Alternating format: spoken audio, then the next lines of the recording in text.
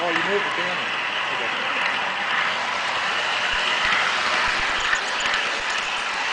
You want to do it the other way then? Keep pointing to the inside. Do one more and point to the inside.